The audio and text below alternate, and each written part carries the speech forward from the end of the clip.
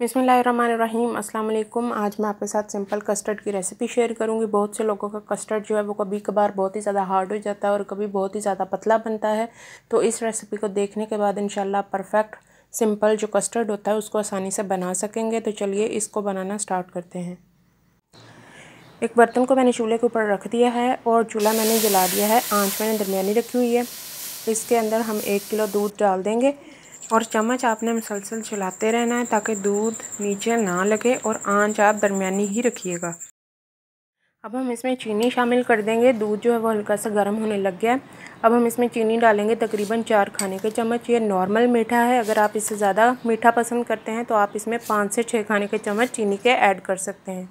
चम्मच हम चलाते रहेंगे मुसलसल और इसको जोश आने देंगे। अब दूसरी साइड पे हम देख लेते हैं। एक बोल के अंदर हम डाल देंगे कस्टर्ड पाउडर।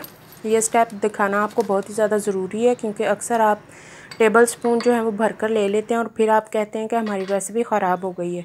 एक किलो दूध के लिए पाँच खाने के चम्मच कस्टर्ड पाउडर जो है वो बिल्कुल मुनासिब क्वांटिटी में है। तो अलहदा से एक बोल के अंदर मैंने आपको दिखा दिया है कि पाँच खाने के चम्मच आपने कस्टर्ड पाउडर के लेने हैं। कस्टर्ड पाउडर आप कोई सा भी ले सकते हैं अपनी पसंद का। एक खुले बर्तन के अंदर मैंने एक कप दूध डाल दिया है। दूध आपने जो है वो बड़े बर्तन में डालना है ताकि कस्टर्ड को आप अच्छे से इसमें मिक्स कर सकें। पाँच खाने के चम्मच कस्टर्ड पाउडर के हमने इसमें डाल देने हैं और चम्मच से आपने कस्टर्ड को अच्छे से दूध में मिक्स करना है ताकि जो कस्टर्ड पाउडर है वो दूध में अच्छे से मिक्स हो सके और इसकी गुठली वगैरह ना हो। एक मिनट के अंदर ही कस्टर्ड जो है वो दूध के अंदर अच्छे से मिक्स हो जाता है, हल हो जाता है। तो चम्मच मैं दूध के अंदर मुसलसल चलाती रही हूँ ताकि इसके ऊपर बलाई ना आए। और आँच आपने अब स्लो कर देनी है। पहले हम मीडियम आँच पे जो है दूध को बॉईल कर रहे थे तो दूध में जब जोश आ जाए तो आपने आँच थोड़ी सी स्लो कर देनी है और एक हाथ से आपने दूध में जो हमने कस्टर्ड मिक्स करके रखा हुआ है वो डाल देना है और एक हाथ से आपने मिक्स करते जाना है। पाँच मिनट तक आपने इसको चम्मच चलाते हुए इसी तरीके से पकाना है। और यहाँ पे आप देख लें कस्टर्ड जो है वो माशाल्लाह से अच्छे से पक चुका है। पाँच मिनट तक मैंने इसे हल्की आँच पर पकने दिया है। ये काफ़ी गाढ़ा हो चुका है। अब हम चूल्हा बंद कर देंगे और चम्मच को चलाते हुए हम इसको ठंडा कर लेंगे। जैसे जैसे ये ठंडा होगा, ये मज़ीद गाढ़ा होता जाएगा। कस्टर्ड को मैंने चूल्हे से उतार लिया और ठंडा कर लिया। अब हम इसे एक बोल के अंदर डाल देंगे और एक घंटे के लिए रूम टेम्परेचर पर छोड़ देंगे और उसके बाद हम इसे फ्रिज में रख देंगे तकरीबन एक घंटे के लिए। अगर आप कस्टर्ड के ऊपर बलाई नहीं लाना चाहते तो आप इसको मुसलसल हैंड विस्क से मिक्स करते रहें।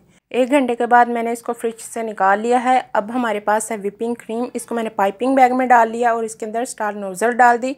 और स्टार नोज़ल अगर आपके पास नहीं भी है तो आप सिंपली इसको पाइपिंग बैग में डालकर मिडल में आप थोड़ी सी क्रीम डाल दें क्योंकि हमने सिर्फ़ इसकी डेकोरेशन करनी है। तो ज़्यादा या कम आप लगा सकते हैं। और इसके ऊपर अब आप जेली लगा लें। कम या ज़्यादा लगा लें, वो आपकी अपनी मर्ज़ी है, जिस तरह चाहें आप इसको अरेंज कर लें।